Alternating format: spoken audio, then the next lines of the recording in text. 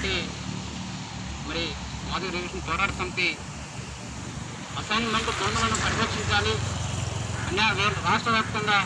లక్షల ఎకరాల భూములు అన్యాక్రాంతమవుతున్నాయి భూస్వామ్య వర్గాల వశమవుతున్నాయి దీన్ని నిరోధించాలని చెప్పి ఒక ఉన్నత ఆశయంతో ఈ కార్యక్రమానికి పిలిపించడం జరిగింది. మరి ఈ కార్యక్రమానికి సంఘీవంగా వచ్చినటువంటి కాంగ్రెస్ పార్టీ మండల నాయకులు మహేంద్ర నరేంద్ర మహేంద్ర గారికి అదేవిధంగా నరసింహన్న గారికి సురేష్ గారికి అదేవిధంగా భాస్కర్ అన్న గారికి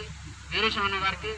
మరి అందరికీ కుల సంఘాల నాయకులందరికీ పేరు పేరున ధన్యవాదాలు తెలియజేస్తూ మరి రాష్ట్ర అభ్యర్థి సంక్షేమ పక్షాన కూడా మరి ధర్నా కార్యక్రమానికి సంపూర్ణమైన మద్దతు ఉంటుందని భవిష్యత్ కార్యక్రమాలకు కూడా మా సంఘం పూర్తి స్థాయి మద్దతు ఉంటుందని చెప్పి ఈ సందర్భంగా తెలియవచ్చు మరి భూమి లేనటువంటి నిరుపేదలను గుర్తించి ఆనాడు సీలింగ్ వ్యవస్థ తీసుకురావడం జరిగింది. సీలింగ్ వ్యవస్థ తీసుకొచ్చి భూస్వామ్య వర్గాల నుండి భూమి గుంజించి ఎవరైతే పేద వర్గాలకు భూమి లేనటువంటి పేద వర్గాలను గుర్తించి ఆనాడు మరి భూమి పంచినటువంటి సందర్భం. మరి అటువంటి హక్కును కాలరాయడానికి ఇటువంటి ప్రభుత్వాలు కాలరాస్తా ఉన్నాయి. ఈ చర్యలను మనం ప్రతిఘటించకపోతే మన భవిష్యత్ తరాలకు ఇబ్బంది అయ్యేటువంటి పరిస్థితి కాబట్టి మరి ఇటువంటి కుటిల నీతిని మనం ప్రతి బీసీలకు అనగారిన వర్గాలకు గిరిజనులకు భూములు ఇచ్చినటువంటి సందర్భం కనీసం వాళ్ళు పక్కపట్టి పట్టవారిని భయభ్రాంతులకు గురి చేసి మరి కనీసం మరి కాస్త కొత్త ధైర్యవంతమైనటువంటి దళితులు మేము మా భూములు